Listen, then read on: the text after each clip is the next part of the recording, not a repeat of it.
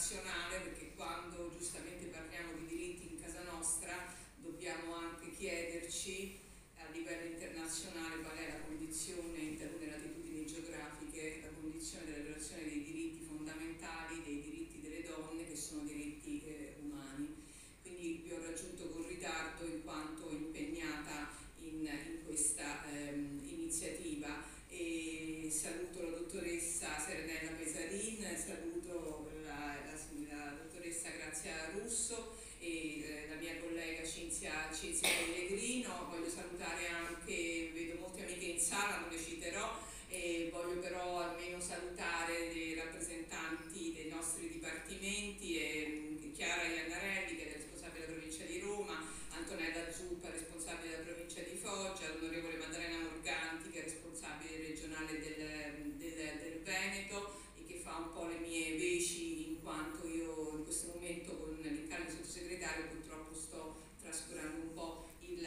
il dipartimento. Ciò nonostante insieme a Cinzia e, quindi insieme lavorando in tandem con i due dipartimenti anche quest'anno abbiamo organizzato per la terza volta il premio Eccellenza Donna. Il, come avrà sicuramente sottolineato lei in apertura, la volontà è quella di non cadere nella,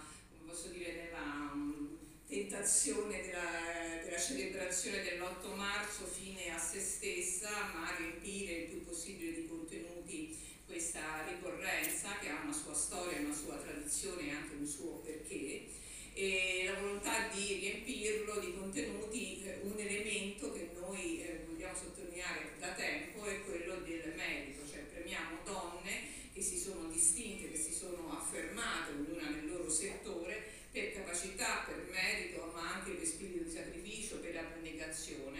E tra l'altro ehm, avevo chiesto all'onorevole Morganti di farlo, di farlo al, mio, al, mio, posto eh, perché già prevedevo questo ritardo e l'elenco un po' di quelle che sono in tutta Italia, giusto Cinzia, le iniziative che si svolgeranno tra oggi fino a domenica in varie città eh, italiane, eh, abbiamo stimato 43 province, dove si svolgono incontri simili a questo, ma anche di forme diverse che però hanno in comune questo filo rosso, cioè premiare donne per la loro eccellenza e per il loro merito. Le iniziative quindi sono molte, sono diverse, tutte nella stessa direzione. E voglio anche ricordare che un anno fa eravamo insieme con Cinzia e insieme con quella che poi sarebbe diventata la prima premier donna della storia repubblicana, naturalmente mi sto riferendo a Giorgia Meloni, eravamo insieme a inaugurare una mostra itinerante che ancora incontra fortuna e successo, che è la mostra dedicata